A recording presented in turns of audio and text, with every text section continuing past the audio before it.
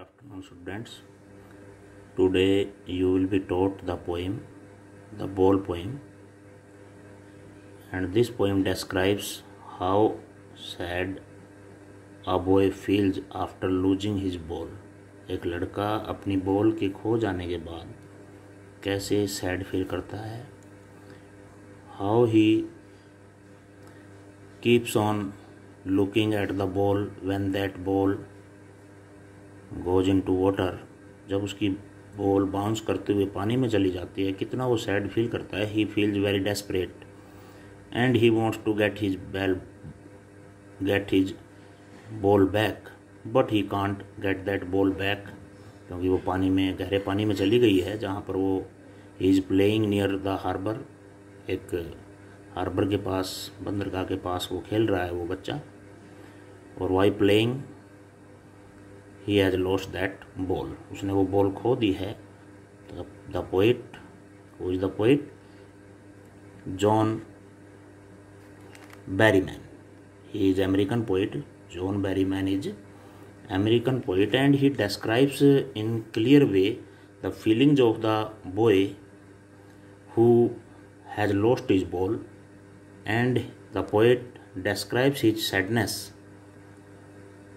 How does the boy want to get his ball back but he can't get that ball back the poet expresses his feelings so let us start reading this poem a boy loses a ball एक लड़का अपनी ball खो देता है he is very upset बहुत ही upset है a ball doesn't cost much हालाँकि जो बॉल है उसकी कीमत ज़्यादा नहीं है nor is a difficult nor is a difficult to buy another ball ना ही दूसरी बॉल को खरीदना कोई मुश्किल काम है why then is the boy so upset तो लड़का इतना अपसेट क्यों है तो read the poem to see what the poet thinks has been lost तो आप इस पोइम को रीड करें और देखें कि भाई पोइट उस लड़के ने what the poet thinks has been lost poet बताता है कि उस लड़के ने क्या खो दिया ऐसा? And what the boy has to learn और उस लड़के को क्या सीखना होगा? From the experience of losing something किसी चीज़ को कुछ खोने से वो क्या सीखना होगा उसको? तो what is the boy now who has lost is ball तो this poem has no rhyme scheme इस पोइम के अंदर कोई राइम स्कीम नहीं है, क्योंकि आप देख सकते हैं ball go then water balls इनमें कोई राइम नहीं है। तो let start reading the boy what is the boy now who has lost his ball ये लड़का अब क्या करेगा जिसने अपनी बॉल को खो दिया है? What he is to do now what what is he to do ये लड़का क्या करेगा? यानी कि यहाँ पर रेपिटेशन भी है और यहाँ पर जो पोइटिक डिवाइस है it is anaphora A N A P H O R A anaphora क्या होता है? जैसे वट इज़ और यहाँ पर भी रिपीट कर दिया, फिर दोबारा, फिर नेक्स्ट लाइन में इसको, इसी बात को रिपीट कर दिया वट को तो इसको बोलते हैं anaphora I saw it go merrily bouncing down the street तो पोइट सेज दैट पोइट भी कहता है कि भाई पोइट इज़ ऑल्सो नियर नज़दीक ही है जहाँ पर वो बच्चे खेल रहे हैं। वो कहता I saw it go merrily bouncing मैंने उस बॉल को जाते हुए देखा मैरिली बाउंस करते हुए। मैरिली वैसे ह्यूमन बीइंग के लिए यूज़ करते हैं, भाई खुशी से जैसे वो बॉल बॉल बाउंस करते हुए जा रही थी डाउन द स्ट्रीट नीचे गली से एंड देन मैरिली ओवर और वहाँ से फिर होती हुई बाउंस करती हुई कहाँ चली गई? There it is in water कहाँ चली गई? पानी के अंदर चली गई। तो here the poet has used यहाँ पर क्योंकि मैरिली जो है ह्यूमन बींग के लिए यूज़ करते हैं भी खुशी से बाउंस करते हुए, लेकिन यहाँ पर जो है बोल के लिए यूज़ कर रहा है तो इट में भी वी कैन से परसोनिफिकेशन है यहाँ पर it can be said it is imagery एक इमेज बनती है माइंड के अंदर, जैसे बॉल जंप करते हुए जाती है तो इमेजरी भी है यहाँ पर। I M A G E R Y और यहाँ पर परसोनिफिकेशन भी है।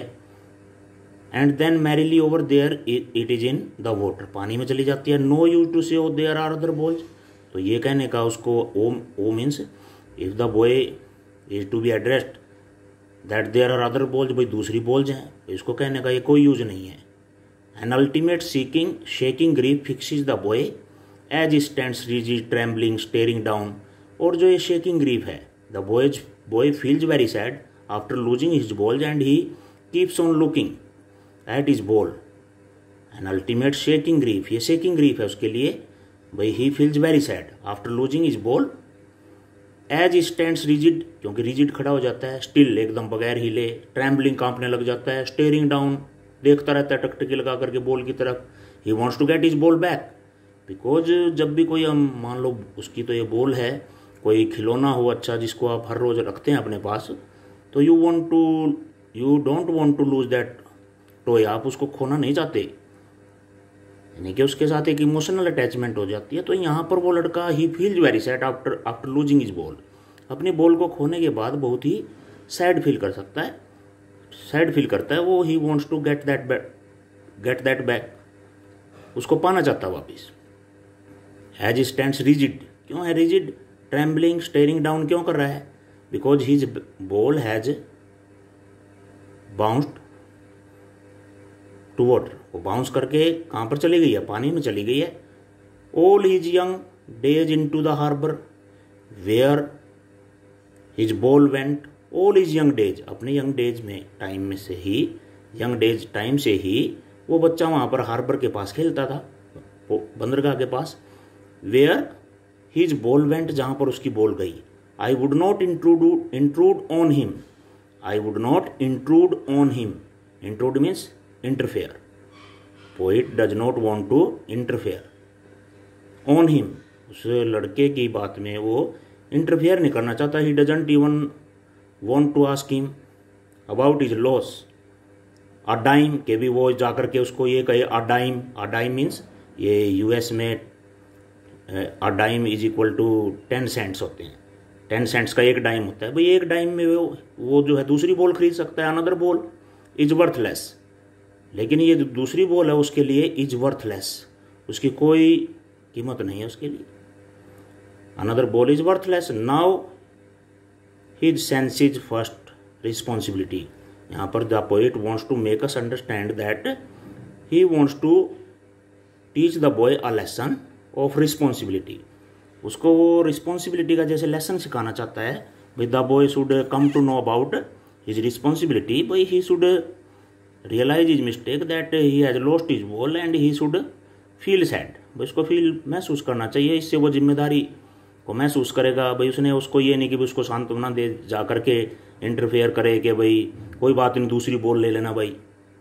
ये बात उसके लिए अनदर बॉल इज़ वर्थलेस ये बात उसके लिए वर्थलेस है, ये कहना, क्योंकि उसके साथ अटैचमेंट है उसकी, उस बोल के साथ। बोल के साथ अटैचमेंट है, ये इट इज़ रियलिटी जब हमारी किसी, कोई चीज़ हमारे पास काफ़ी टाइम से रहती है तो एक इमोशनल अटैचमेंट हो जाती है उस चीज़ के साथ, और जब वो खो जाती है, मान लो कोई गिफ्ट में आपको कोई रिस्ट वॉच देता है, या कोई ऐसा फेवरेट चीज़ जो आप अपने छोटे भाई को देते हैं, या फिर और किसी को तो अगर वो उनकी वो चीज़ गुम हो जाती है तो दे फील वेरी सैड चाहे उसकी कीमत बहुत ही कम हो, क्योंकि वो मिल तो दूसरी जाएगी, लेकिन वो एक जो इमोशनल अटैचमेंट उस चीज़ के साथ थी तो लड़के की जो अटैचमेंट थी, उस बॉल के साथ थी। ऐसा ही हमारे जो है ह्यूमन रिलेशन में होता है कि भी जो ह्यूमन रिलेशन है हमारे, कई बार when we lose our near and dear तो उनके साथ हमारी अटैचमेंट होती है and when they are dead और by chance they are not with us we feel very sad we feel very sad and we realise their importance उनकी realise importance को हम रियलाइज़ करते हैं। तो in this poem the poet wants us wants us to realize that the things which are lost, they are lost forever. जो चीज़ें एक बार खो जाती है they are lost forever and we can't get the same thing back और उसी same चीज़ को हम वापस नहीं पा सकते। तो पोइट इसमें हमें समझाना चाहता है कि भाई मान लो दूसरी बॉल वो खरीद तो लेगा। Its cost is not too much इतनी ज़्यादा नहीं है। Now his senses first he senses first responsibility उसको आभास हो जाता है ज़िम्मेदारी का कि भाई he should not lose his ball in a world of possession भाई ये जो वर्ल्ड ऑफ़ पोजेशन या मेटीरियलिस्टिक वर्ल्ड में, भाई उसको आभास हो जाता है। He can understand that he can understand that losses and gains are part and parcel of life जीवन में लॉसेज होते हैं, मान लो फ़ायदा और नुकसान, जीवन के पार्ट एंड पार्सल हैं। इस भौतिक संसार में अब वो ये बात समझ सकता है। पीपल विल टेक बॉल्स भाई लोग बॉल ले लेंगे दूसरी। Balls will be lost always ball खोती रहेंगी little boy and no one buys a ball back कोई उसी बॉल को वापिस नहीं पा सकता। And no one buys a ball back कौन सी बॉल को बैक जो मान लो वही बोल सेम बोल, नहीं मिल सकती। मनी इज़ एक्सटर्नल मनी जो है एक्सटर्नल है, बाहरी है, यानी कि you can buy money you can buy with money another ball, आप मनी से दूसरी बोल खरीद सकते हैं। You can get all other things लेकिन कुछ चीज़ें होती हैं जिनके साथ हमारी अटैचमेंट होती है, बस उन्हीं को पाना चाहते हैं हम। ही इज़ लर्निंग तो ये जो लड़का है ही इज़ लर्निंग वो जैसे कि अब सीख रहा है। Well behind his desperate eyes his eyes are sad he feels very sad after losing his ball वो सीख रहा है। What does he learning he is what does he learn क्या सीखता है? He is learning how to stand up when we lose our things कैसे हम उस पेन को सहन करेंगे कि भी कैसे हम उस बात को महसूस करेंगे कि जब हम कोई चीज़ अपनी खो देते हैं the epistemology of loss epistemology means knowledge knowledge of loss उसको जीवन में लॉस का आभास हो गया है। हाउ टू स्टैंड अप कि कैसे कोई चीज़ जब गुम हो जाती है या खो जाती है तो कैसे हम उस पेन से हमें ऊपर उठना है? Knowing what every man must one day know यानी कि ये जानते हुए कि भी कैसे what every man must one day know, भाई हर आदमी कोई ना कोई ये ज़रूर एक दिन समझ जाता है, भाई losses and gains are part and parcel of life भाई ये तो पार्ट एंड पार्सल हैं। And most know many days काफ़ी दिनों के बाद ये बात उसको पता चल जाती है, उस लड़के को भी या दूसरे लोगों को भी।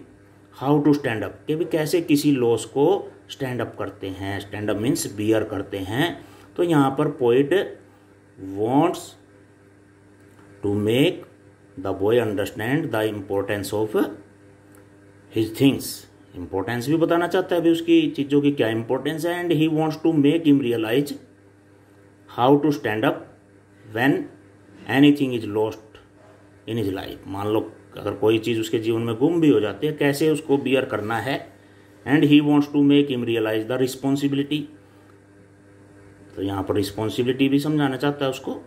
तो यहाँ पर इस पोइम के अंदर जैसे वो समझाना चाहता है पोइट हमें कि भाई, ये मटेरियलिस्टिक वर्ल्ड है and we can buy anything with money पैसे से हम कोई भी चीज़ खरीद सकते हैं।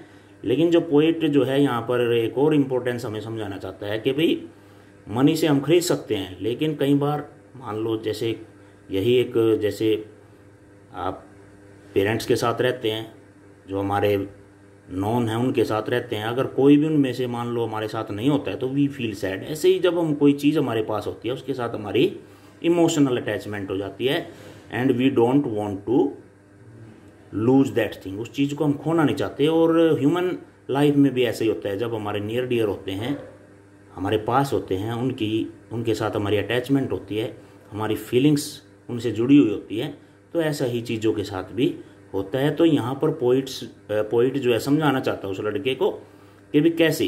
यानी कि वो इंट्रूड नहीं करता इंटरफेयर नहीं करता पोइट के भी क्या हुआ, कैसे बोल खो दिया आपने। ना ही वो उसकी मदद करता है पोइट उसको जाते हुए भी देखता है। ना ही उसको ये समझाने की कोशिश करता भी ये टेन सेंट्स की आप बोल दूसरी ले लें। ये समझाना उसको वर्थलेस है। Now he sense is first responsibility यानी कि पोइट चाहता है कि वो बच्चा अपनी रिस्पॉन्सिबिलिटी को समझे। उसको आभास होना चाहिए कि भाई दिस इज़ इस मेटेरियलिस्टिक वर्ल्ड में, भौतिक संसार में, भाई थिंग्स कैन बी गोट मिल तो मिल तो सकती हैं, खरीदी जा सकती हैं they can be bought with money दूसरी खरीदी जा सकती हैं, लेकिन जो चीज़ों के साथ एक अटैचमेंट होती है, वो सेम नहीं मिल सकती. वो सेम नहीं मिल सकती तो यहाँ पर जो पोइट जो है, वो हमें समझाना चाहता है importance of things and importance of responsibility he wants to make us understand that losses and gains are part and parcel of life. The poet says that the boy has lost the ball forever. भाई, उसने ball तो खो दिया हमेशा के लिए। In losing it he is learning the nature of loss लेकिन उसको खोने में वो नेचर ऑफ़ लॉस को समझ रहा है। जब कोई चीज़ गुम हो जाती है, अभी कैसा लगता है? He is also learning how to stand up वो सीख रहा है, अभी कैसे स्टैंड अप करते हैं? Such all losses in life जब ऐसे लॉसेज हो जाते हैं लाइफ में लाइक बॉल तो he is also he is also learning that someday और later one has to bear the loss and forget it भाई, ये लॉस तो हमें बियर करने पड़ते हैं। जीवन में हर तरह के लॉस को सहन करना पड़ता है। The poet wants to make him understand that thing तो in the line no one buys a ball back ये जो लाइन है यहाँ पर no one buys a ball back इसके अंदर जो पोइट यूज़ करता है poetic device it is alliteration it is alliteration. तो एलिट्रेशन का यूज़ किया गया है और इमेजरी का भी यूज़ किया गया है। यू हैव बिन टोल्ड इसमें इमेजरी भी है। बोल जो है merrily bouncing down the street bounce करते हुए जाते हैं इमेज बनती है बोल की हमारे माइंड के अंदर। तो students you have been taught this poem and students you are asked that if the video is not clear should open your poem or lesson when which you are taught. Then uh, you will be able to understand the poem. Because voice is clear you can understand every line तो अगर line आपको नज़र भी नहीं आती है book के अंदर, कई बार विजिबिलिटी नहीं होती तो आप ध्यान से सुने और बुक खोल के रखें अपनी और उसी लेसन को देखें जहाँ, जिस लेसन की वो वीडियो है या पोइम है तो आप क्लियरली पोइम का मैसेज आप अच्छी तरह से समझ पाएँगे। और स्टूडेंट्स अगर आप कोई हेल्प बुक लेना चाहते हैं तो आप गोल्डन ले सकते हैं इंग्लिश की। किसी के पास अगर पुरानी है, गोल्डन है या कोई दूसरी बुक है, उनको न्यू खरीदने की ज़रूरत नहीं है, क्योंकि इट इज़ नॉट पॉसिबल कि भी हर क्वेश्चन का आंसर मैं लिखूं या एक्सप्लेन करूँ। वैसे मैं सारा पोइम के अंदर आपको बिल्कुल सब कुछ एक्सप्लेन कर देता हूँ। आंसर आप इजीली फाइंड आउट कर सकते हैं। अगर फिर भी कोई आपको प्रॉब्लम है तो you can ask thank you